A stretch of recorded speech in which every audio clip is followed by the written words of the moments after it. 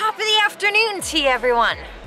I'm in Venice Beach, and I'm surrounded by people climbing the rope and chin-uppers and people doing their thing. And we are gonna do our thing, which is a little drill to get your handstand strength and your push-off strength and your tumbling on beam just better. I had a coach, Deborah, she'd make us do this all the time. It's just handstand walks, forward, sideways, and backwards. Now you can start out just doing one step and then work your way to two, work your way to three, and so on and so forth.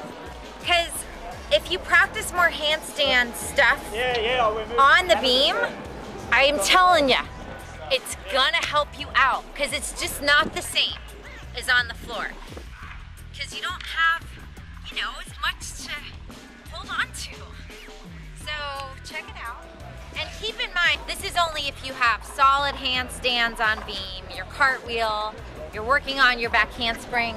You know, it's just to get you stronger. And remember, this beam is actually seems a little bit skinnier than the real deal and it's really slippery.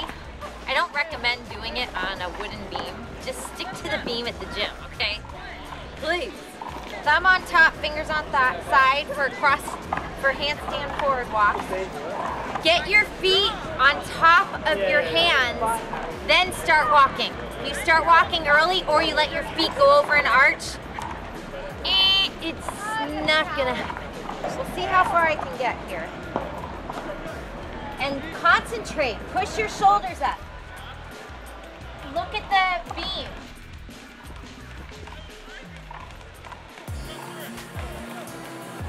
Boy, it's hard. Definitely not easy. Ugh, Really trying to concentrate. Mm. I don't want to lose it. Oh, oh, I lost it. Oh, oh, thank you. Thanks. Oh, it could have been better, but whatever. Now we're gonna try backwards. Okay, backwards, this is the hardest one for sure. Remember, just focusing, keeping your feet on top. I know my legs were a little sloppy. Be tighter. Be tighter than that. It'll be easier. Um, and yeah, the feet on top of the hands is very important and just pushing. And you really gotta focus. You gotta, you can't be thinking about, oh, what am I gonna have for dinner? Or what movie am I gonna see later? You gotta think about what you're doing.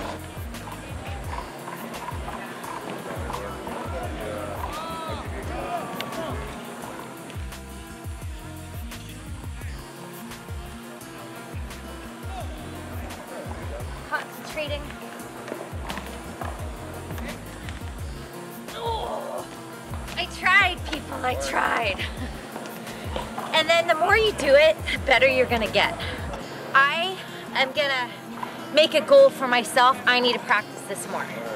Gotta do it, gotta do it. Put it on my list. Not the grocery list, the gymnastics list. Okay, now for sideways. This is the easiest one. Cause uh, this way with the thumb definitely is harder. You have to have more control. Wow. Someone's coughing up a lung over there. I hope he's okay. All right.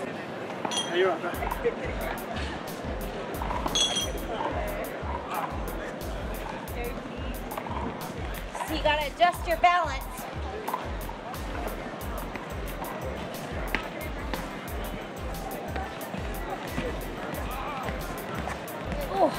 Gonna lose it.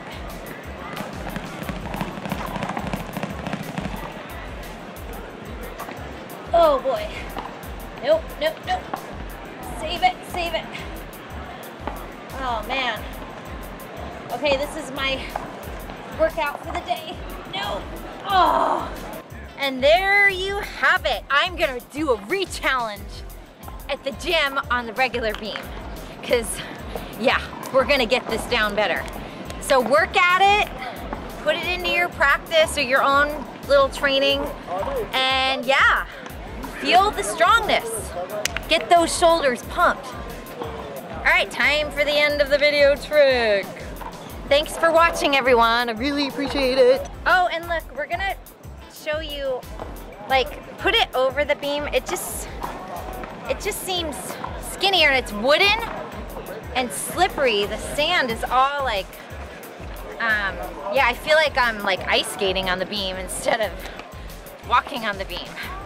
So, I know I'm making excuses, but hey, all right, here you go. I landed on my feet, yes. Alrighty, take care everyone. Have a sunny day. Oh, and subscribe if you want more videos. And check out my other gymnastics lesson and workouts if you want. Okay, bye.